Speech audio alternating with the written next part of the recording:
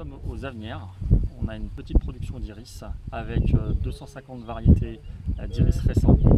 ma passion a commencé il y a une quinzaine d'années. J'ai commencé à acheter des iris chez un producteur européen. J'ai collectionné au fur et à mesure des iris récents que j'ai commandés aux États-Unis et en Australie et je pratique euh, l'hybridation, c'est-à-dire la création de nouvelles variétés euh, afin d'améliorer, euh, de créer de nouvelles couleurs et d'améliorer l'iris. Dans ma parcelle, ce sont des grands iris. en fait, ce qu'il faut savoir, c'est que l'iris, c'est le symbole de la royauté. Contrairement à ce qu'on pense, c'est pas le lys, c'est l'iris. Depuis plus de 100 ans, l'homme améliore les variétés naturellement en pollinisant plusieurs fleurs afin d'avoir de nouveaux coloris, des fleurs plus grosses, avec des textures plus épaisses qui résistent mieux euh, à la pluie, plus de boutons euh, par tige, des tiges plus grosses et des iris qui poussent très très bien. Donc en fait, euh, voilà, les iris que vous voyez derrière nous ont des fleurs beaucoup plus grosses que ceux qu'on voit souvent au bord de la route.